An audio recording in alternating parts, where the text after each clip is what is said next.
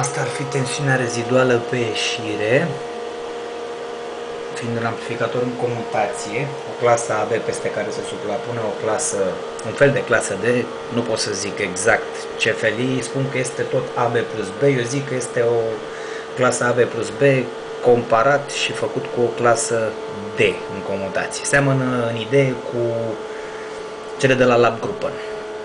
Așa, deci avem rezidual 100, în jurul la 100 de mV pe ieșire la frecvența de 1,5 kHz.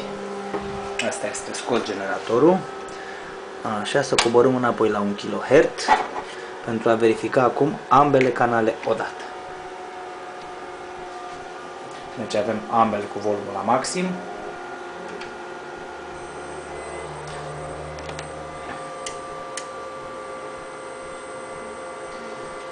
Să creștem.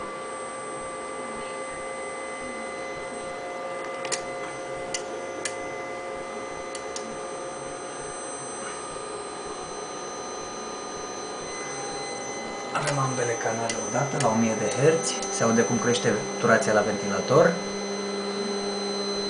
Se vede limitarea. Curat, 2 ori 60 de volți, ambele canale. Odată. Scoate aer cald.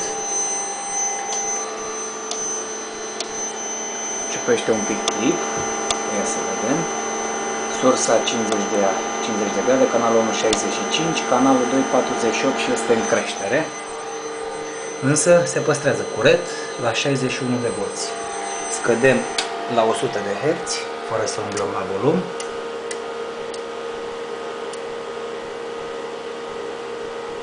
Se observă mici distorsiuni, o să mai reduc puțin pentru că este în limitare. Curat,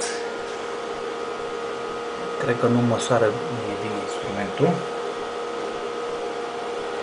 Ia să mai vedem încă o dată. Da, canalul care este mai cald limitează mai, mai mult decât celălalt, dar încă este curat. Coborâm și la 30 de Hz.